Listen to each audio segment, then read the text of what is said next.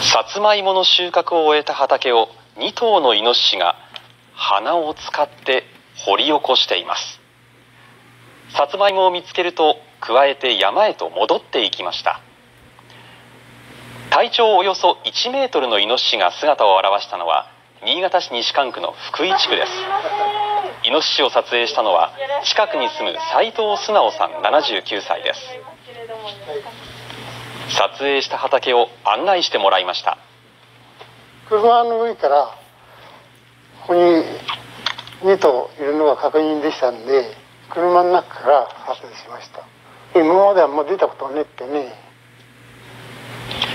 この地区では今年イノシシに畑を荒らされる被害が相次いでいます。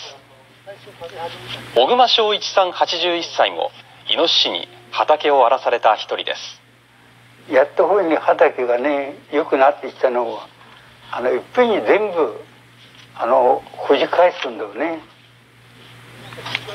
小熊さんは白菜や大根などを育てていました。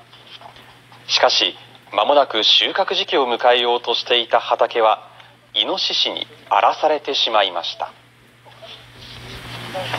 また恋はせっかく作ってもダメですのでねその畑をやめねばダメかもしれないね。相次いでいるイノシシ被害に地元の人は。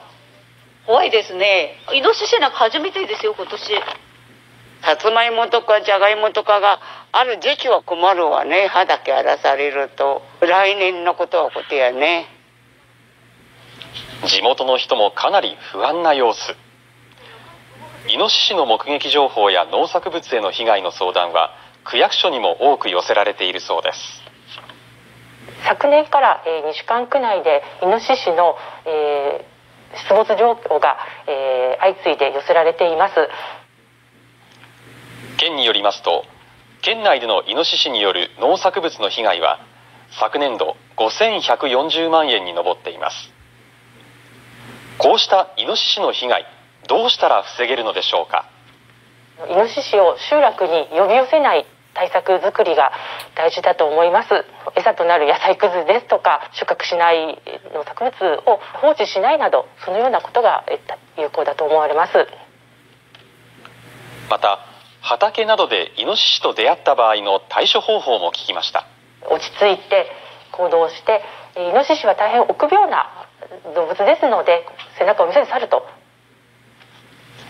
例年にはないイノシシによる農作物の被害今年は住宅街にも出没が相次いでいることから一層の警戒が必要です。